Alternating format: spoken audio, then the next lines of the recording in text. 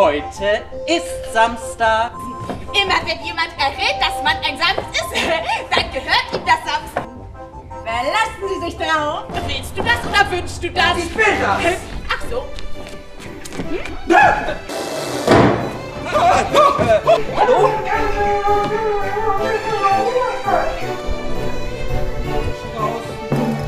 Setzen!